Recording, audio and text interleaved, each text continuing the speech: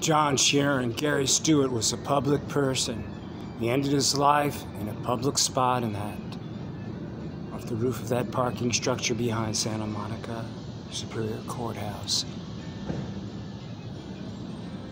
As a public person, there is a tremendous, tremendously irresponsible, iatrogenic medical illness responsible for Gary's death. He was on a inappropriate cocktail of antipsychotic, anti-schizophrenic, antidepressants, and tranquilizing medications. We need to know his doctor. We need to get full autopsy reports. I mean, if you're interested in mental health, if you're interested in being a responsible public servant,